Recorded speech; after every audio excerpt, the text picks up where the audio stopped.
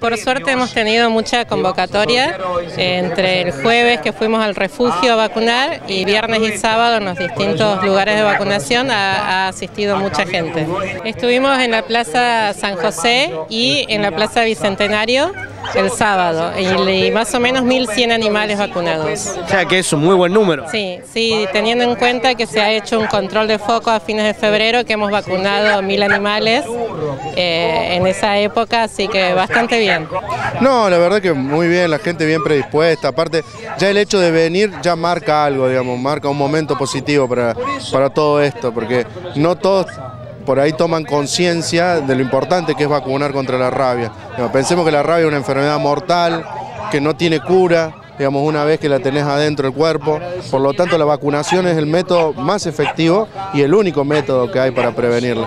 O sea, y la gente responde muy bien. Vos fijate, bueno, toda esta gente está esperando para anotarse, porque en realidad obviamente se maneja más rápido la vacunación que, el, que los registros, pero es una cuestión normal, pero la verdad que la gente muy bien. Mira, la vacunación es una vacunación anual, se realiza todos los años, por ley nacional es gratuita y tiene que hacerse. Y además eh, no tiene costo, ayuda muchísimo, como te digo, para que vos te des una idea, en el mundo mueren 60.000 personas al año por rabia, mueren personas todavía por rabia en el mundo, por suerte en la Argentina no, desde el 2008 que no se registra un caso mortal en una persona argentina. Pero la forma efectiva de prevenirla es vacunando al perro, no vacunando a la persona. A la persona se la vacuna ya cuando fue mordida por el perro, en este caso.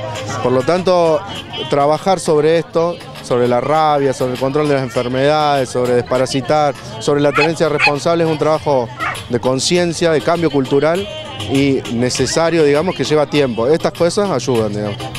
Bueno, con respecto a la vacunación, se los está vacunando y se los está marcando para saber que han sido vacunados.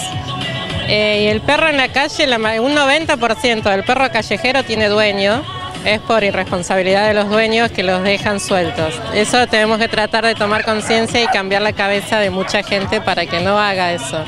Puede traer muchos accidentes, desde tirar bicis, moto, morder, eh, así que hay que tratar de ir cambiando eso de a poco. Se van a estar largando castraciones, se va a hacer un convenio con los veterinarios privados y la Facultad de Medicina Veterinaria. Calculamos que eso a partir de junio, julio se va a estar haciendo y después van a hacer eh, castraciones en septiembre con el Plan Nacional de Mascotas Argentinas, que se van a hacer 100 castraciones más.